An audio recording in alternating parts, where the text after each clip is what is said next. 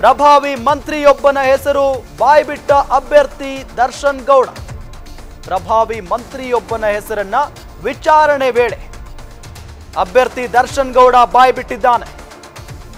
ತಮ್ಮನ ಮೂಲಕ ಎಂಬತ್ತು ಲಕ್ಷ ಡೀಲ್ ಕುದುರಿಸಿದ್ದ ಆ ಸಚಿವ.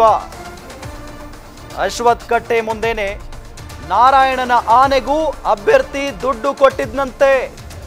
ಎಂಬತ್ತು ಲಕ್ಷ ರೂಪಾಯಿ ನಾಲ್ಕನೇ ರ್ಯಾಂಕ್ ಪಡೆದಿದ್ದ ದರ್ಶನ್ ಗೌಡನ ಬಳಿ ವ್ಯವಹಾರವನ್ನ ಮಾಡಲಾಗಿದೆ.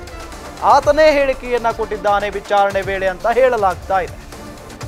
ನೋಟಿಸ್ ಹಿನ್ನೆಲೆ ವಿಚಾರಣೆಗೆ ಹಾಜರಾಗಿದ್ದ ದರ್ಶನ್ ಗೌಡ, ವಿಚಾರಣೆಯಲ್ಲಿ ಈ ಎಲ್ಲ ಮಾಹಿತಿಯನ್ನ ಸಿಐಡಿ ಅಧಿಕಾರಿಗಳ ಮುಂದೆ ಬಾಯ್ಬಿಟ್ಟಿದ್ದಾನೆ.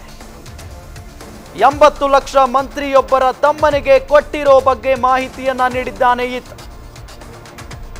ಆತ ಕೊಟ್ಟ ಮಾಹಿತಿಯ ಹಿನ್ನೆಲೆ ಮಂತ್ರಿ ತಮ್ಮನನ್ನ ವಿಚಾರಣೆಗೆ ಕರೆದಿದ್ದ ಸಿಐಡಿ ಅಧಿಕಾರಿಗಳು. ವಿಚಾರಣೆಗೆ ಒಳಪಡಿಸಿದ್ರು. ತಕ್ಷಣ ಸಿಐಡಿ ಅಧಿಕಾರಿಗೆ ಕರೆ ಮಾಡಿದ್ದ ಪ್ರಭಾವಿ ಬಿಜೆಪಿ ಮಂತ್ರಿ. ಯಾವುದೇ ಕಾರಣಕ್ಕೂ ವಿಚಾರಣೆ ಮಾಡಬೇಡಿ, ಈಗಲೇ ಬಿಟ್ಟು ಕಳಿಸಿ ಅಂತ ತಿಳಿಸಿದ್ದರಂತೆ. ಆ ಮಂತ್ರಿ ಫೋನ್ ಬರ್ತಾ ಇದ್ದಂತೆ ಆರೋಪಿಯನ್ನ ಬಿಟ್ಟು ಕಳಿಸಿದ್ದಾರೆ ಸಿಐಡಿ ಅಧಿಕಾರಿಗಳು ಅಂತ ಹೇಳಲಾಗ್ತಾ ಇದೆ. ನೋಡಿ ಎಲ್ಲೋ ಒಂದು ಕಡೆ ಈ ಒಂದು ಸಿಐಡಿ ಅಧಿಕಾರಿಗಳು ಯಾವ ರೀತಿಯಾಗಿ ತನಿಖೆಯನ್ನು ನಡೆಸ್ತಾ ಇದ್ದಾರೆ ನಾವು ಗಮನಿಸ್ತಾ ಇದ್ದೀವಿ. ಪಿ ಎಸ್ ಐ ಪರೀಕ್ಷಾ ಅಕ್ರಮ ವಿಚಾರಕ್ಕೆ ಸಂಬಂಧಪಟ್ಟಂತೆ ಈಗಾಗಲೇ ಸಾಕಷ್ಟು ಜನರನ್ನು ಅರೆಸ್ಟ್ ಮಾಡಿ ವಿಚಾರಣೆಗೆ ಒಳಪಡಿಸಲಾಗಿದೆ. ಇನ್ನೂ ಕೂಡ ಕೆಲವು ತಿಮಿಂಗಲುಗಳು ಹೊರಗಡೆನೆ ಓಡಾಡ್ತಾ ಇವೆ. ಸಾಕಷ್ಟು ದೊಡ್ಡ ದೊಡ್ಡವರ ಕೈವಾಡ ಇದರಲ್ಲಿ ಇದೆ ಅನ್ನೋ ಒಂದು ನಿಟ್ಟಿನಲ್ಲಿ ಅನುಮಾನವನ್ನು ವ್ಯಕ್ತಪಡಿಸಲಾಗ್ತಾ ಇದೆ. ಜೊತೆಗೆ ಈಗ ಓರ್ವ ಮಂತ್ರಿಯೂ ಕೂಡ ಇದರಲ್ಲಿ ಇದ್ದಾರೆ ಅಂತ ಹೇಳಲಾಗ್ತಾ ಇದೆ.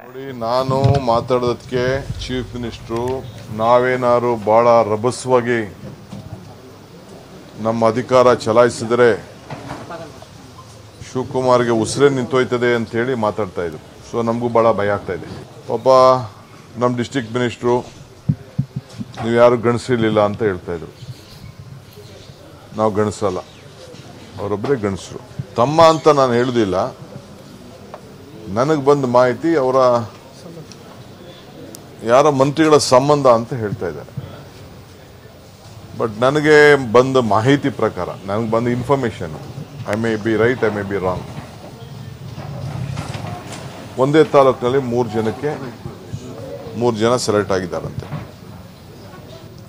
ಪಾಪ ಅವರೆಲ್ಲ ಆಸ್ತಿಗಳನ್ನ ಮಾರ್ಕೊಂಡಿದ್ದಾರಂತೆ. ಮಾಸ್ತಿ ಮಾರ್ಕೊಂಡು ದುಡ್ಡು ಕೊಟ್ಟು, ಅದು ಇಡೀ ಊರಿಗೆ ಗೊತ್ತಿರೋಂಥ ವಿಚಾರ.